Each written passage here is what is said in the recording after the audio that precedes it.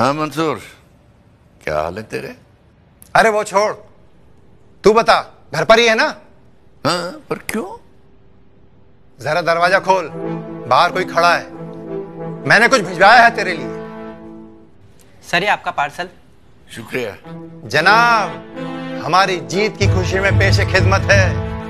आपके लिए लजीज बिरयानी। बिरयानी क्यों?